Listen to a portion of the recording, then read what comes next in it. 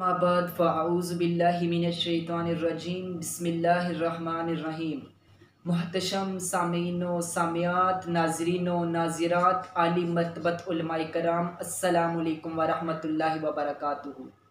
موضوع کی ابتدا میں آپ سے گزارش ہے کہ چند لمحوں کے لیے اپنی توجہات کو میری جانب مرکوز کر لیجیے. اپنا موضوع مختصر بیان کروں گا تاکہ آپ کے سینوں میں کوئی بات آسانی سے اتر سکے۔ اللہ جل شاہ سے دعا ہے کہ میری زبان سے کلمہ حق کو جاری فرما دیں۔ حضور علیہ السلام نے ایک مرتبہ حضرت جبرائیل علیہ السلام سے پوچھا کہ اے جبریل، کبھی ایسا ہوا کہ تمہیں زمین پر فوری طور پر مشقت کے ساتھ اترنا پڑا ہو؟ تو حضرت جبرائیل علیہ السلام نے فرمایا، نعم یا رسول اللہ صلی اللہ علیہ وسلم۔ یا رسول اللہ صلی اللہ علیہ وسلم، چار مرتبہ مجھے زمین پر فوری طور پر مشقت کے ساتھ اترنا پڑا ہے۔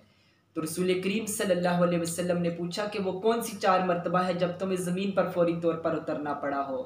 تو حضرت جبرائیل علیہ السلام نے فرمایا کہ یا رسول اللہ صلی اللہ علیہ وسلم، وہ چار مرتبہ جب مجھے زمین پر فوری طور پر اترنا پڑا۔ ایک تو یہ کہ جب حضرت ابراہیم علیہ السلام کو آگ میں ڈالا گیا تو اس وقت میں عرش الہی کے قریب تھا تو رب کریم نے مجھے حکم دیا کہ اے جبریل، فوری طور پر زمین پر اترو اور میرے خلیل کے آگ میں پہنچنے سے پہلے پہلے انہیں اپنے پروں پر بٹھا لو اور میرے خلیل آگ میں نہ پہنچیں۔ اللہ اکبر۔ اب دیکھا جائے تو تصور کیا جائے کہ ادھر حضرت ابراہیم خلیل اللہ کو آگ میں پھینک دیا گیا ہے اور ادھر حضرت جبرائیل علیہ السلام صدرہ پر ہیں۔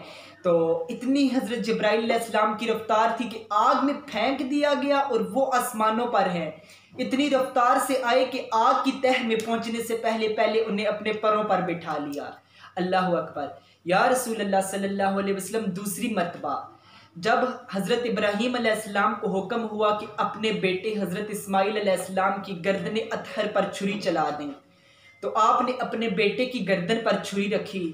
تو رب کریم نے مجھے حکم دیا کہ اے جبریل، فوری طور پر زمین پر اترو۔ اسماعیل کی گردن پر جو چھری ہے، اسے الٹا کر دو۔ اب ادھر دیکھا جائے تو چھری گردن پر رکھ چکے ہیں۔ اور ادھر جبریل کو حکم ہوتا ہے کہ فوری طور پر زمین پر اترو اور اسماعیل کی گردن سے چھری کو الٹ دو اور ادھر مینڈا آ جائے۔ اللہ اکبر۔ میں فوری طور پر زمین پر آیا اور میں نے چھری کو الٹ دیا۔ اللہ اکبر۔ تیسری مرتبہ۔ تیسری مرتبہ تب جب حضرت یوسف علیہ السلام کو کوہیں میں پھینکا گیا۔ رب کریم نے مجھے حکم دیا کہ اے جبریل، فوری طور پر زمین پر اترو اور میرے یوسف کے کوہیں میں تہ میں پہنچنے سے پہلے پہلے جا کر انہیں اپنے پروں پر بٹھا لو۔ اللہ اکبر، میں فوری طور پر مشقت کے ساتھ زمین پر اترا۔ اور انہیں محفوظ مقام پر ایک پتھر پر جا بٹھایا۔ اللہ اکبر۔ اور چوتھی مرتبہ یا رسول اللہ صلی اللہ علیہ وسلم تب جب کفار نے آپ کے دندان مبارک کو شہید کیا تھا۔ رب کریم نے فرمایا کہ اے جبریل، فوری طور پر زمین پر اترو، میرے محبوب کے خون کا، خون کے قطرہ کو زمین پر نہیں گرنے دینا۔ میں فوری طور پر زمین پر آیا اور آپ کے خون کے قطروں کو اپنے ہاتھ میں لے لیا۔ اللہ اکبر۔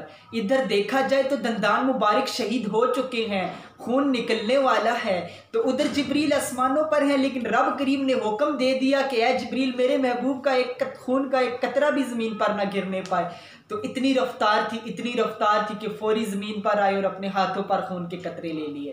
اور یا رسول اللہ صلی اللہ علیہ وسلم، رب کریم نے مجھ سے فرمایا تھا، اگر میرے محبوب کے خون کا ایک قطرہ بھی زمین پر گر گیا نا تو قیامت تک زمین سے نہ کوئی سبزی اگے گی، نہ کوئی گھاس اگے گا۔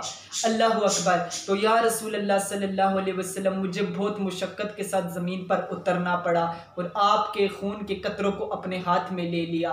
اگر یہ قطرے میرے ہاتھ پر نہ آتے، اگر میں وقت پر نہ پہنچتا، تو قیامت تک زمین غلا اگلنا چھوڑ دیتی۔ اللہ اکبر۔ اللہ تعالی ہم سب کے دلوں میں حضور علیہ السلام کا سچا پکی محبت نصیب فرمائے۔ وما توفیقی اللہ باللہ۔